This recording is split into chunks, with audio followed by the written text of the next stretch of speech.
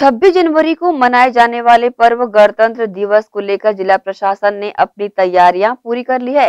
वहीं परेड की सलामी के साथ ही स्कूली बच्चों द्वारा रंगारंग सांस्कृतिक कार्यक्रम प्रस्तुत किए जाएँगे। 26 जनवरी को अपने चौहत्तरवे गणतंत्र दिवस मनाने को लेकर दुर्ग जिला प्रशासन ने दुर्ग के रविशंकर स्टेडियम में कार्यक्रम को लेकर तैयारी पूरी कर ली है।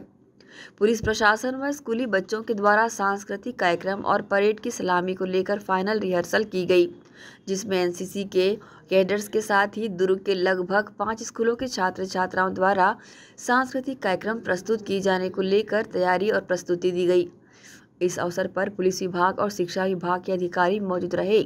इस संबंध में न्यूज़ टीम को जिला शिक्षा विभाग से अमित घोष ने जानकारी दी। ज़्यादा उत्साह बच्चों में दिख रहा है।